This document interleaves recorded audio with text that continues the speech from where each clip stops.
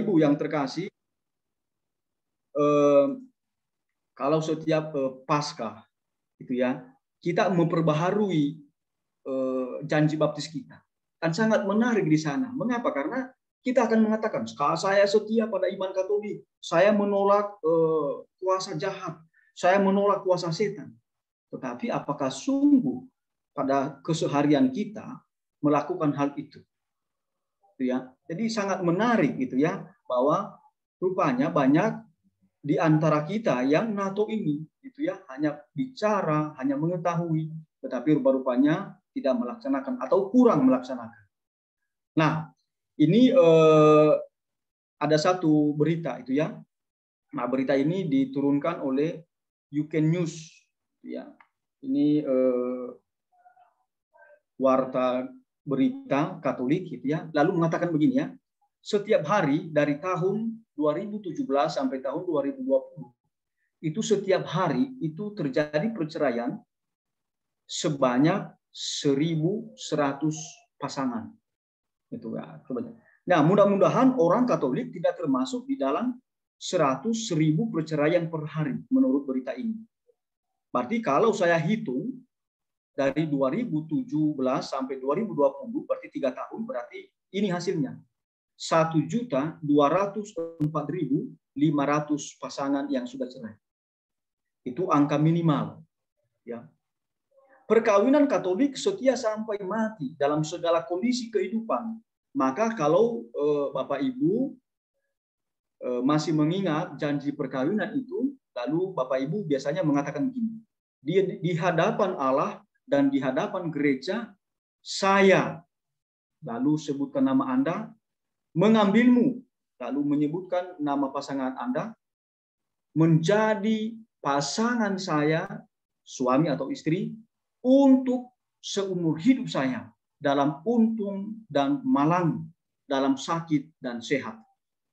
Ini sebenarnya mau mengatakan dalam segala kondisi kehidupan, gitu ya. Nah, sudah saya katakan tadi, itu di dalam Injil Matius bab 19 ayat 5 sampai 6, Markus 10 ayat 8 sampai 9, lalu kitab hukum kanonik kanon 1055 atau kanon 1141 hanya kematianlah yang memisahkan pasangan suami istri. Tapi ini saya bekerja di tribunal ya di pengadilan gereja Keuskupan Bandung, tetapi juga ada banyak orang Katolik yang melakukan perceraian. Itu ya. Hanya kita bersyukur bahwa memang walaupun di luar sana banyak sekali perceraian, tetapi kita bersyukur kepada Tuhan tidak begitu meningkat di dalam gereja Katolik. Tetapi kita tidak menutup mata bahwa ada juga perceraian itu. Maka kita pada malam hari ini dan juga ke depan kita memanggil dan mendukung umat kita supaya tidak melakukan yang namanya perceraian. Perceraian bukan solusi untuk masalah keluarga. Karena itu justru bisa melukai pasangan dan melukai anak-anak dan komunitas gereja. Ya. Dan seumur hidup bapak dan ibu itu akan terluka juga. Nah, iman kokoh kuat. Pelaku firman adalah orang yang mendirikan rumah di atas batu. Berarti kokoh, tidak mudah goyah. Orang ini tidak akan meninggalkan iman akan Tuhan Yesus. Bahkan ia menjadi saksi, memelihara dan mempertanggungjawabkan iman. Itu juga kita bisa melihat di dalam kitab hukum kanonik, kanon 750 dan kanon 752. Di sini dikatakan sangat menarik. Di kanon 750 itu kita harus taat. Kita harus setia pada semua ajaran eh, gereja.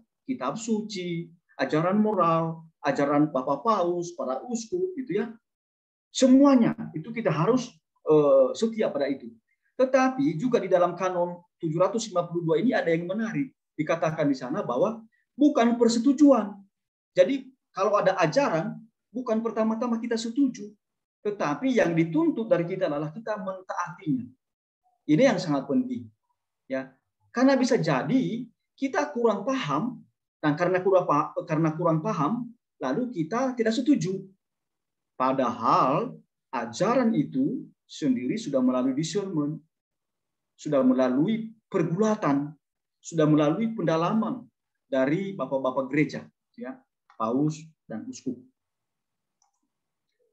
Nah, jika hanya pendengar dan tidak menjadi pelaku firman, itu ibarat orang yang mendirikan rumah di atas pasir, berarti rapuh, mudah goyah, nah, seperti dalam foto ini.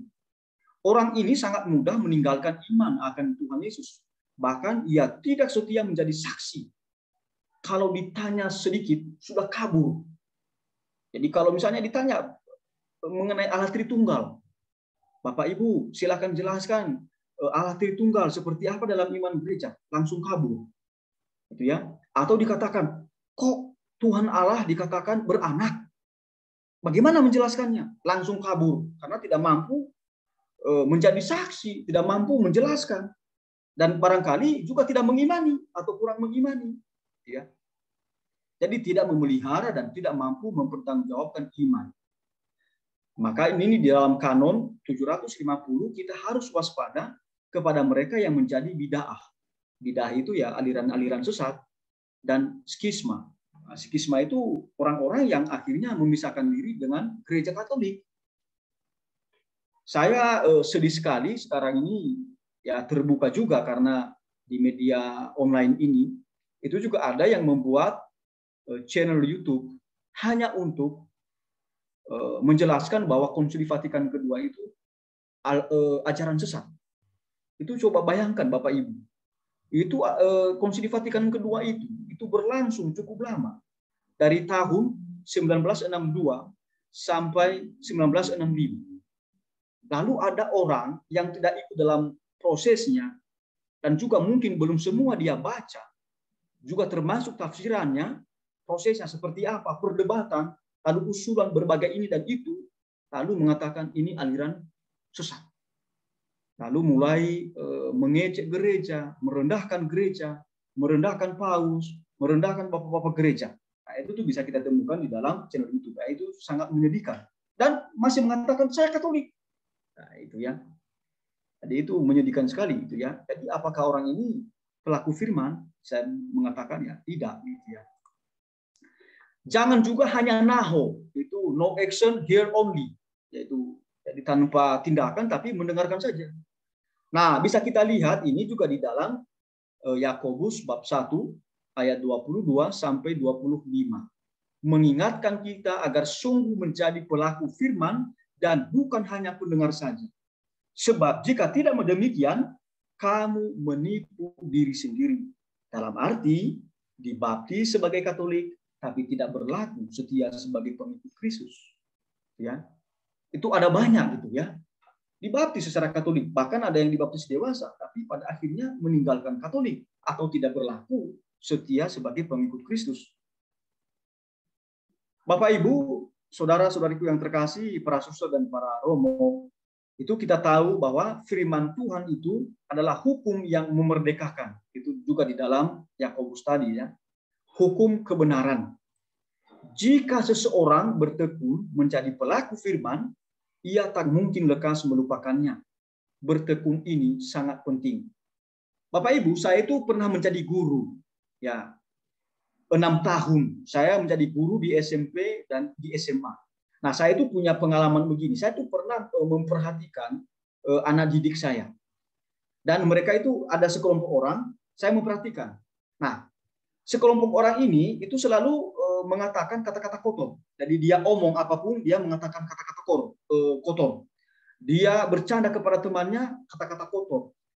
Dia bertemu dengan temannya, kata-kata kotor. Nah, suatu saat saya memperhatikan, itu dia dikejutkan atau dikagetkan oleh temannya maka kata yang pertama sekali keluar adalah kata-kata kotor ini yang sering dia uh, ucapkan. Jadi saya mau mengatakan bahwa apa yang kita ulang-ulang itu menjadi kebiasaan dan apa yang menjadi uh, kebiasaan itu menjadi karakter. Dan kalau sudah menjadi karakter, itulah yang paling dekat dengan kita. Itulah harta milik kita. Dan itu juga yang kita bagikan kepada orang lain. Maka kalau yang baik yang kita ulang-ulang, kalau yang baik yang kita biasakan, maka itu juga yang paling dekat dengan kita dan menjadi harta kita. Tetapi sebaliknya, kalau yang kita biasakan yang kurang baik, yang tidak baik, perbuatan-perbuatan melawan Allah, melawan gereja, perbuatan dosa, maka itu juga yang sangat dekat dengan kita. Maka jangan heran Bapak Ibu yang terkasih, kalau seandainya ada orang yang cepat sekali memaki atau mengeluarkan kata-kata kotor, ya karena itulah yang dia biasakan dalam hidupnya. Maka itu juga yang paling dekat dengan dia. Itu jangan jangan heran dengan itu, gitu ya.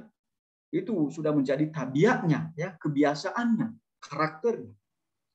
Maka kalau kita mau menjadi pelaku firman, harus terbiasa menjadi pelaku firman. Tidak mungkin menjadi pelaku firman ujuk-ujuk tiba-tiba. Tidak, harus dibiasakan, ya.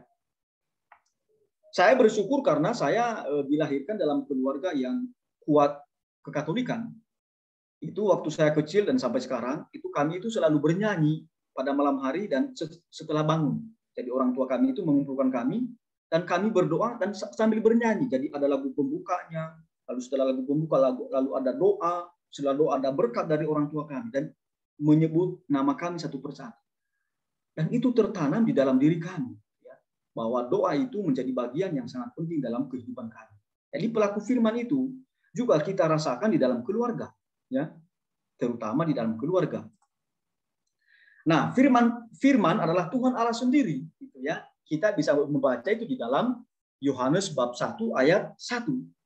Saya membaca bahasa Latin karena ini bagus sekali in principio erat verbum et verbum erat apud deum et deus erat verbum. Nah, pada mulanya adalah firman. Firman itu bersama-sama dengan Allah dan firman itu adalah Allah. Firman itu telah menjadi manusia dan diam di antara kita, penuh kasih, karunia, dan kebenaran. Maka kalau kita menjadi pelaku firman, mau mengatakan menjadi pelaku kehendak ilahi. Mengikuti apa yang dikatakan oleh Tuhan Allah, oleh Yesus sendiri. Ya. Jadi itu yang kita perjuangkan sebagai pengikut Kristus dalam hidup kita. Tentu saja Bapak Ibu yang terkasih kita kadang jatuh, tapi harus bangkit kembali. Ya, kita bukan manusia yang sempurna. Ya. Ada juga itu di dalam kitab suci. Ya. Kita orang berdosa dan kita harus rendah hati mengatakan itu bahwa saya Tuhan penuh dengan kedagingan, ya. Saya memiliki hasrat kemanusiaanku. Maka mohon kekuatan dari Allah karena pertobatan itu atau menjadi pelaku firman itu juga adalah rahmat karunia dari Allah. Dalam Lukas bab 11 ayat 28 menjadi Maaf Pastor. Maaf ya. saya uh, slide-nya belum dijalankan Pastor. Slide. Oke. Ini udah ya? Belum masih halaman pertama, Pastor. Oh, lala. Masih judulnya pelaku firman. Berarti saya stop lagi ya.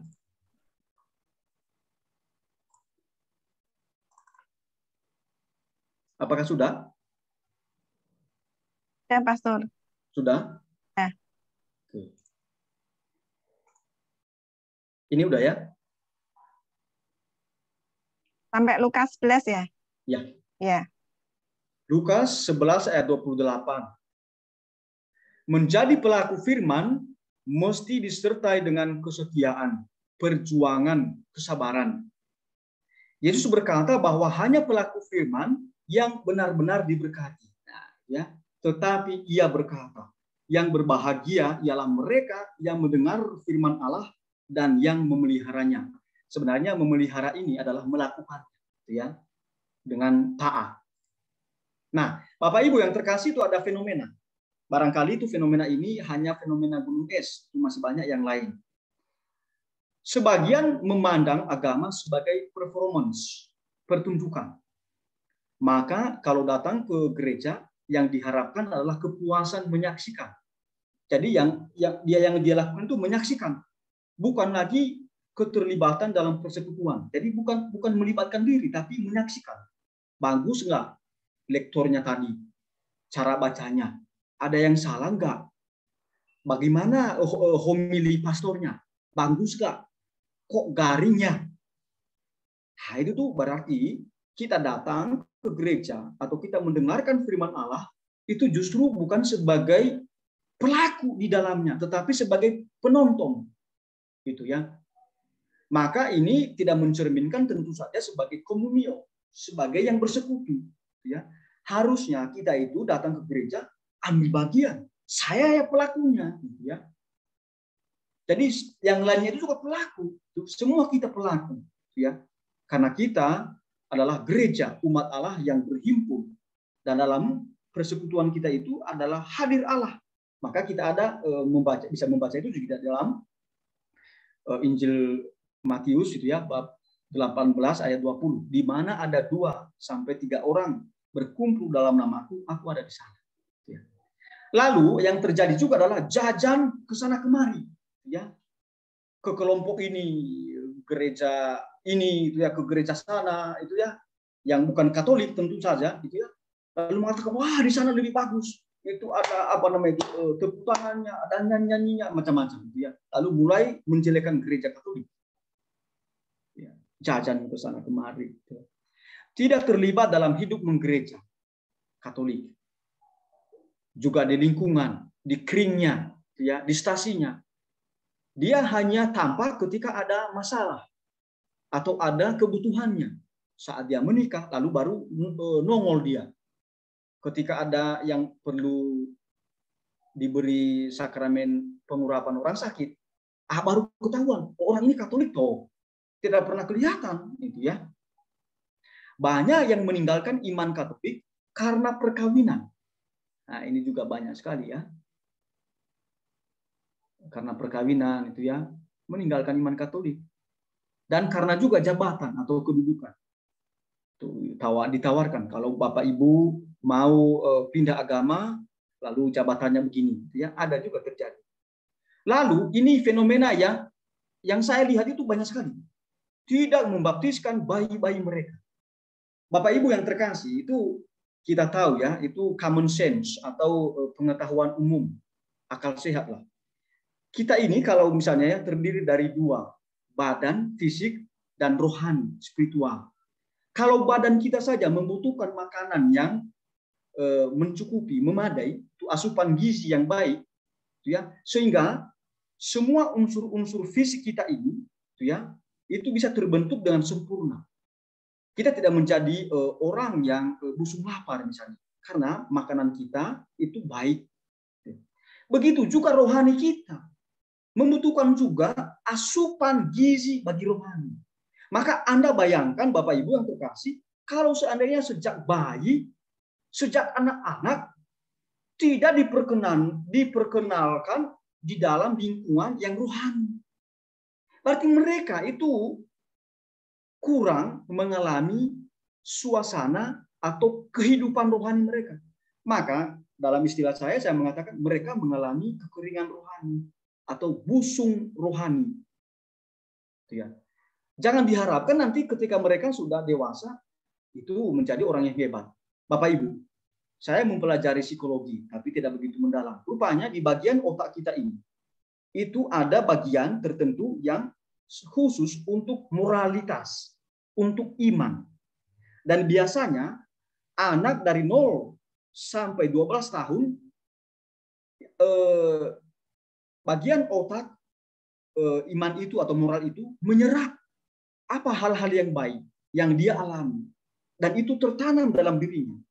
Maka kalau terbentuk dengan baik moralitas anak atau iman anak pada umur 0 sampai 12, maka orang ini juga ke depannya ketika sudah dewasa, ini orang-orang yang bisa secara otomatis punya sensor dalam otaknya bisa mendeteksi ini baik, ini buruk ini bagian iman, ini bukan iman.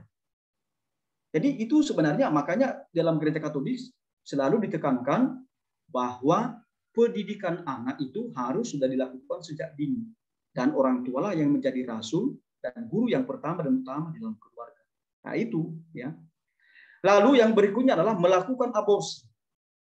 Nah ini banyak sekali Bapak Ibu yang terkasih. Padahal kita tahu sendiri aborsi ini itu dosa yang sangat berat dosa yang mematikan.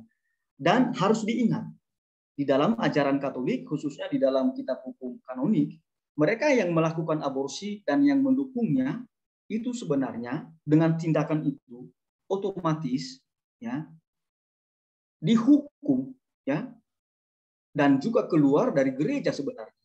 Maka eh, orang-orang yang belum melakukan pengakuan dosa yang melakukan aborsi ini itu sebenarnya tidak layak menerima sakramen eh, ekaristi ya, komuni kudus. Kalau dia menerima ya seperti dalam doa tadi, sakrilegi. Dia merendahkan justru komuni kudus.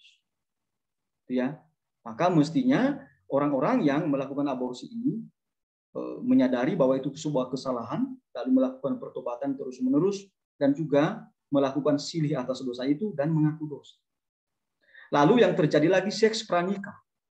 Ya, banyak sekali itu ya seolah-olah kalau berpacaran itu maka harus melakukan hubungan seks. Nah, itu banyak sekali di antara uh, umat kita juga ya. Lalu uh, bayi tabung. Jadi melakukan bayi tabung. Bapak Ibu, mengapa gereja melarang bayi tabung ini? Karena begini, itu ya, secara moral itu tidak bisa dibenarkan. Itu ya. Mengapa? Karena di sini itu terjadi yang namanya coitus interruptus. Coitus interruptus itu itu nanti bisa dibaca ya, itu ada uh, dalam kitab suci. Dalam kitab Kejadian bab 38 ayat 8 sampai 9. Ya. Mengatakan begini, melakukan persetubuhan tetapi ketika ejakulasi maka spermanya dibuang keluar. Dan persis itu yang dilakukan dalam proses bayi tabung. Jadi eh, bisa jadi melakukan persetubuhan tapi nanti spermanya diambil lalu ditelurkanlah di luar, di luar rahim. Dan bukan hanya itu lagi, terjadi yang namanya aborsi di sana. Mengapa? Karena ditanam beribu-ribu eh, sperma dan dengan sel telur itu, lalu nanti diambil salah satu atau beberapa saja. Lalu yang lainnya bisa dihancurkan, dibunuh, tetapi juga bisa disimpan untuk yang lain.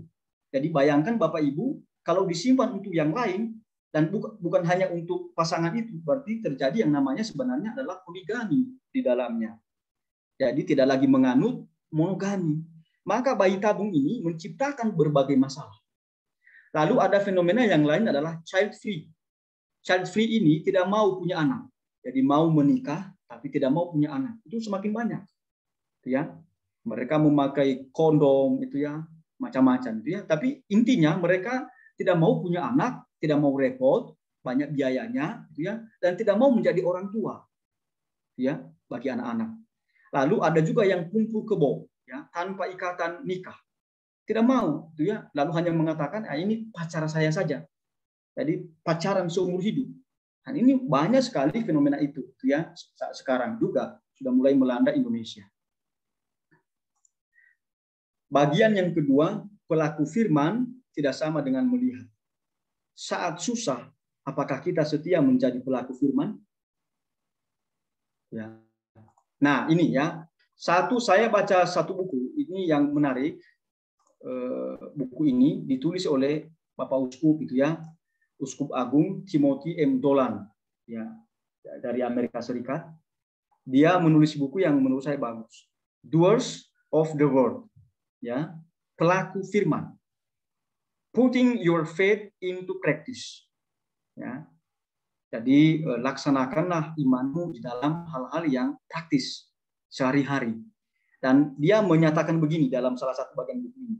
Tempatkanlah iman Anda ke dalam tindakan Anda setiap saat bersama Kristus yang terus-menerus hadir bersama kita dalam pasang surut kehidupan kita. Ya. Nah ini eh, pernah kita membaca ini kisah sama, orang Samaria yang baik hati ini, ya dasarnya di dalam Lukas bab 10 ayat 25 sampai 37. Nah, di sini sebenarnya ada pertanyaan, siapakah yang peduli? Siapakah yang berbela rasa? Siapakah yang melakukan firman? Apakah seorang imam, seorang lewi, seorang Samaria? Kita tahu sendiri bahwa eh, orang eh, lewi dan imam ini itu dalam kisah Lukas tadi itu hanya melihat tapi tidak peduli melewati dari seberang jalan Nah, seperti dalam foto ini. Imam dan Levi adalah orang-orang yang dekat baik Allah. Sering membicarakan mengenai Allah. Dan memiliki pengetahuan yang memadai mengenai Allah.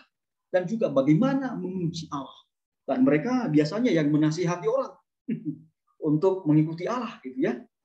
Tapi mereka hanya melihat. Ya. Tapi ternyata orang yang mengaku beriman belum tentu bertindak sesuai dengan ajaran Tuhan. Anehnya, mereka merasa lebih hebat, lebih dekat dengan Tuhan Allah daripada yang lain. Dan mereka merendahkan orang lain. Ya, itu cilakannya ya. Orang yang berbela rasa justru orang Samaria. Yang justru sering direndahkan, dipandang dari segi rohani dan sosial, tidak penting, remeh, kurang baik. Ya, tapi ia peduli, orang Samaria ini peduli.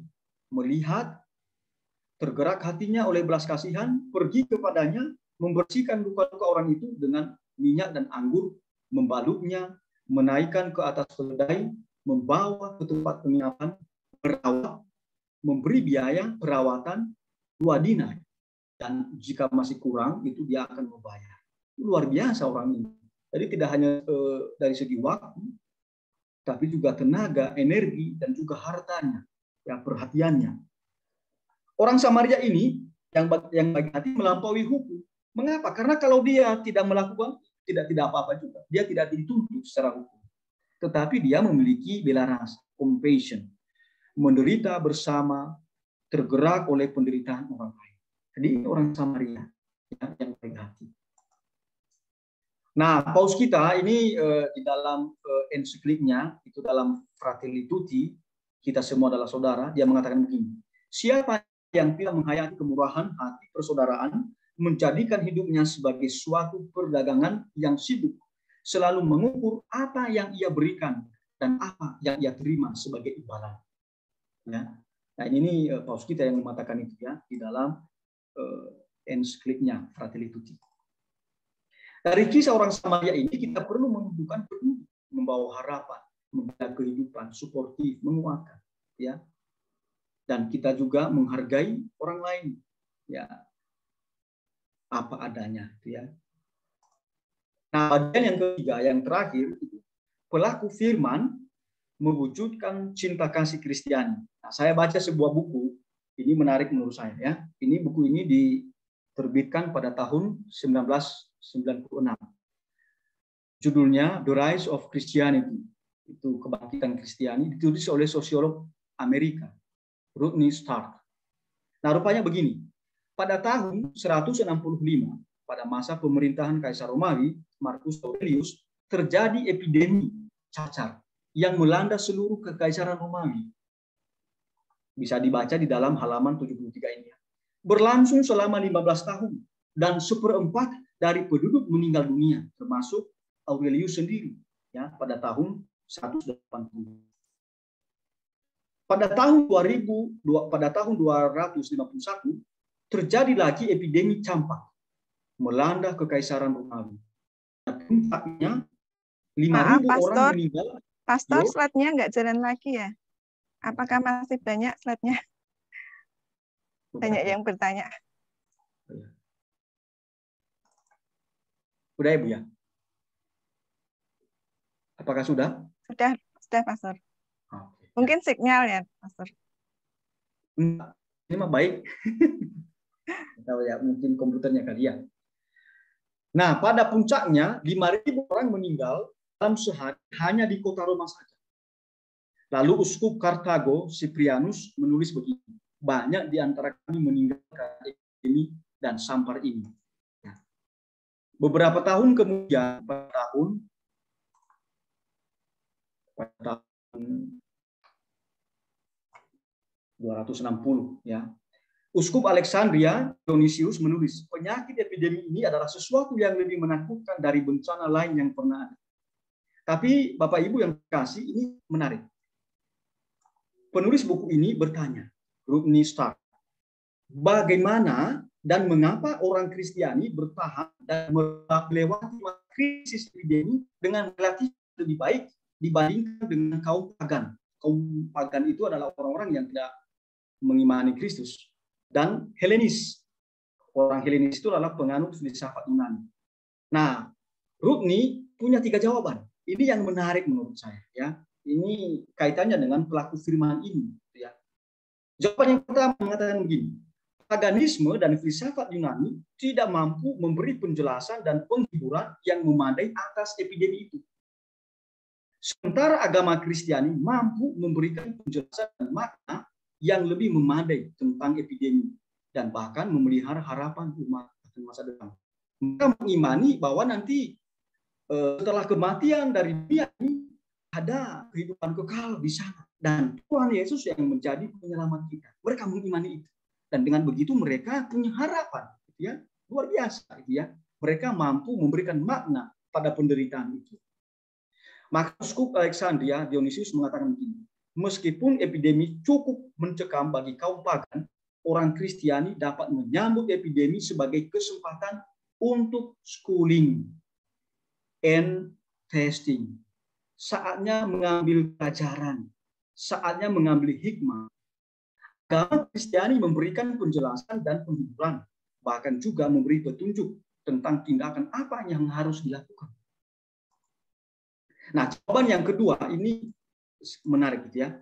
Nilai-nilai Kristiani tentang cinta kasih diterjemahkan secara konkret. Nah, ini jadi pelaku firmannya dalam sistem dan norma serta tindakan pelayanan sosial dan solidaritas lebih mampu bertahan menghadapi krisis. Dan harus diingat setelah epidemi itu, setelah wabah itu, justru orang Kristiani semakin meningkat jumlahnya. Dan Bapak Ibu yang terkasih, itu bisa kita baca juga di dalam kisah para rasul bab 11 ayat 25 sampai 30. Pada zaman eh, Barnabas dan Saulus itu terjadi juga eh, wabah kelaparan di Antioquia di mana orang Kristiani pertama sekali disebut orang Kristen di Antioquia itu di dalam eh, perikop ini ya. Dan pada waktu itu mereka sungguh menjadi pelaku firman mereka tidak hanya menyaksikan, tidak hanya meratapi situasi itu, tetapi bahu-membahu mengumpulkan sumbangan dan memberikan kepada orang yang sangat membutuhkan. Dan pada waktu itu mereka dari hari ke hari semakin bertambah dari segi jumlah juga dari segi kualitas. Karena mereka sungguh-sungguh menerapkan ya mewujudkan apa yang menjadi cinta kasih Kristiani. Pada puncak epidemi sekitar 260 Dionysius dalam surat Paskah menyampaikan pujian kepada orang-orang Kristiani yang rela mengorbankan nyawa demi merawat orang sakit. Banyak saudara-saudari kita menunjukkan kasih dan loyalitas yang tak terbatas tanpa menghiraukan diri sendiri, tanpa takut pada bahaya, rela merawat orang sakit, melayani mereka dalam Kristus. Jadi itu uh, uskup memuji orang-orang Kristiani Orang-orang terbaik dari saudara-saudari kita telah kehilangan hidup mereka. Banyak imam, diakon, dan awam pantas mendapat kehormatan karena mendalami kematian dalam pelayanan, buah dari kesalehan dan iman yang kuat. Iman yang kuat. Hanya melalui iman yang kuat ini kita bisa bertahan melaksanakan apa yang menjadi eh, dasar iman kita, firman Allah kematian laksana mati. Lalu penulis pagan itu ya memuji juga orang Kristen. Itu ada bahasa Inggrisnya ini, tapi ada terjemahannya. Ini adalah kepedulian kita terhadap yang tak berdaya, praktik cinta kasih kita yang menjadi branding di mata banyak lawan kita. Jadi musuh-musuh orang Kristiani. Lihat saja mereka berkata, lihat bagaimana mereka saling mencintai. Jadi orang-orang yang tidak suka dengan Kristiani pun mengakui cinta kasih Kristiani untuk saling menolong dalam situasi sulit. Dan ini Kaisar Julianus itu ya mengatakan dengan jujur, kaum pagan perlu meniru keutamaan-keutamaan Kristiani.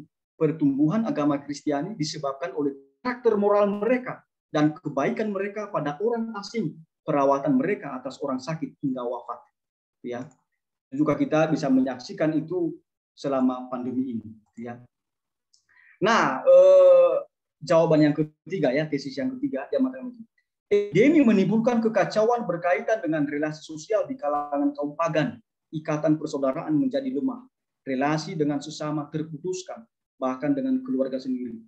Saya ingat di masa pandemi COVID-19 ini juga terjadi hal ini ya. Banyak orang pada awal-awal pandemi itu menolak mayat. Tidak mau dikuburkan di kampungnya. Bahkan juga ada orang yang tidak mau menerima keluarga sama sekali tidak mau menghiraukan. dengan alasan dia takut. Tapi sebenarnya ada yang lebih dalam di dalam membangun relasi persaudaraan yang sejati, terputus dari relasi. Dan itu, itu sangat kesepian ya orang yang mengalami eh, COVID itu ya luar biasa ya.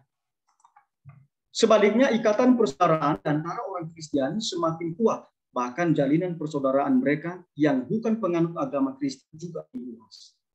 Ya, bahkan orang Kristen dengan kaum pagan itu bisa berbaur dengan baik. Ya.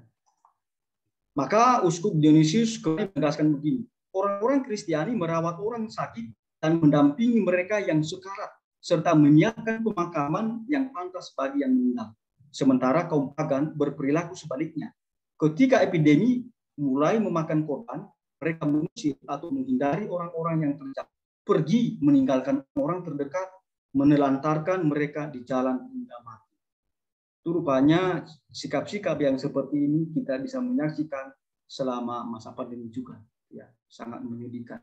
Ya, kita bersyukur bahwa orang-orang Katolik di rumah sakit Katolik, orang-orang Katolik itu di mana pun itu bahu membahu, ya menolong sesama. Ini Romo Edi saya kenal dengan baik Romo Edi. Itu selama pandemi berjuang keras dan Romo Edi ini sempat menjadi uh, korban COVID karena ya tidak tidak berhenti melayani umat. Saya juga tidak berhenti melayani umat. Ya, saya tetap memberikan pengurapan orang sakit. Bahkan pernah saya memberikan kepada yang korban COVID saya sudah masuk di dalam rumah sakit dan dikatakan ini COVID pasok. Saya bilang nggak apa-apa. Karena ibu itu sudah melihat saya. Tidak mungkin saya mengatakan tidak. Resiko saya tanggung. Tapi saya tidak pernah kena. Puji Tuhan. Tuhan melindungi. Jadi sebagai penutup, Bapak Ibu, saudara-saudariku yang terkasih, kita masih ingat di dalam Yakobus 2 ayat 17. Jika iman itu tidak disertai kekuatan, maka iman itu pada hakikatnya adalah mati. Iman kita harus kita wujudkan di dalam tindakan nyata kita sehari-hari. Terima kasih Tuhan memberkati kita semua dan marilah kita eh, berdoa sedikit. Dalam nama Bapa dan Putra dan Roh Kudus. Amin. Allah Bapa yang Maha Kasih, firman telah menerangi budi dan akal kami, hati kami, Kami mohon semoga Engkau menuntun kami sehingga kami menjadi pelaku firman Kuatkanlah kami karena kami lemah, manusia yang berdosa di hadapan Ini semua kami mohon kepadamu melalui perantara Kristus Tuhan kami. Amin. Dalam nama Bapa dan Putra dan Kudus. Amin. Terima kasih.